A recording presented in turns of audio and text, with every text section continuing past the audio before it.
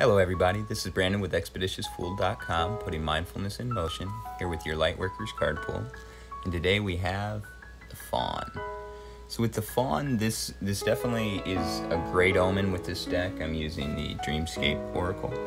Um, it's a great omen. It can symbolize financial things coming in, new beginnings, things of that nature.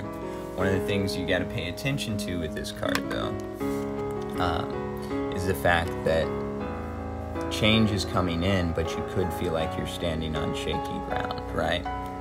Trust in the process, trust in nature, trust as as it unfolds that you will grow to what you need. You will grow to the environment. You will grow to be suited to maneuver your environment um, on the most stable ground possible, as long as you keep the right mindset, right?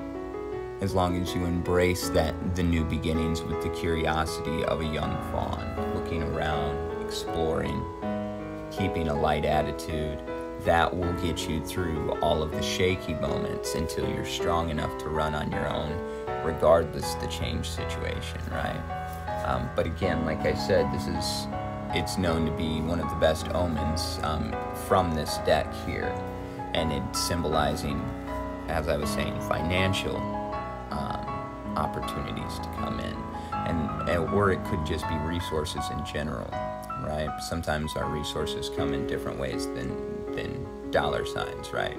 So anything like that could be on the horizon for you. If so, make sure that you you have you have the awareness about you, like the fawn looking around to see those opportunities. That way you can take advantage of them. A lot of times we have opportunities always swimming around, but we never see them because we block them out by restrictive thinking. So make sure you're keeping your mind open and you're really looking at all of the potential opportunities you have out there at this time, Lightworkers, because that's definitely something on the horizon for you. All right, everybody, thank you so much for watching. Uh, if you want to schedule a session with me, tarot, breathwork, meditation, yoga, anything like that, go ahead and send me a direct message. We'll get you scheduled right away. All right. Thank you so much. Have a great day on purpose and stay mindful.